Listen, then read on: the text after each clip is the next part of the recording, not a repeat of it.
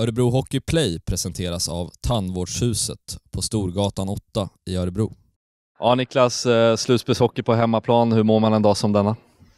Ja, men det är, givetvis mår man bra, det är ju förväntan i luften så att det ska bli jätteroligt. Hur går tankarna inför kvällens retur mot Växjö?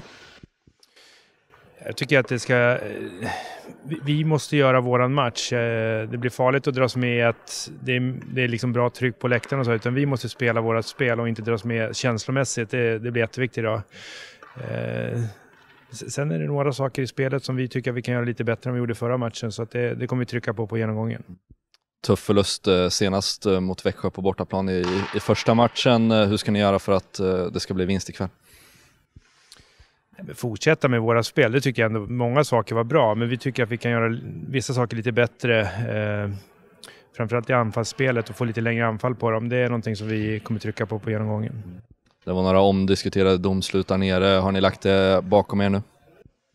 Absolut. Det, vi hade en, eh, en vilodag, en ledig dag igår. Det, det var viktigt att få den här. Vi har varit mycket på resande fot och känner att det var viktigt att få, få både mentalt och fysiskt vila. Och vi pratade om det när vi kom hem här i, i eh, lördags kväll, att det som har varit, det har varit. Nu tittar vi framåt.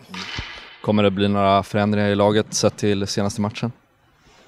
Vi, vi satsar på att matcha samma lag. Eh, Vi tror inte där det sitter om vi ska vinna idag. Eller, utan det, ska vi göra några ändringar i laget då blir det under matchens gång om vi ser att vi behöver energi i gruppen. Hur härligt ska det bli att få spela inför ett eh, kokande Bern Arena ikväll? Ja, det kommer bli jätteroligt och vi eh, ska se till så att eh, det inte blir den sista matchen den här säsongen. Hur, eh, hur ser dagen ut nu för grabbarna fram till nedsläpp ikväll?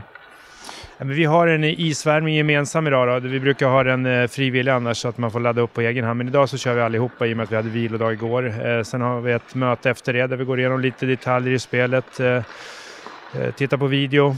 Vad, vad vill vi åstadkomma ikväll? Finns det någonting i Växjös spel som vi kanske kan eh, dra nytta av? Som vi ser att de gör, som vi kan eh, ja, hitta lösningar på. Eh, sen är det ju mer individuell uppladdning på eftermiddagen. Mm och sen träffas vi klockan fem igen. Blir det i vanlig ordning cykeln för dig eh, efter värmningen här? Ja, men det, det är inte omöjligt. Jag brukar ju träna någon, någonting. Idag kanske det blir eh, lite mer styrka tror jag.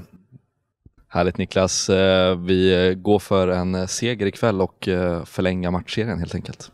Det är målbilden.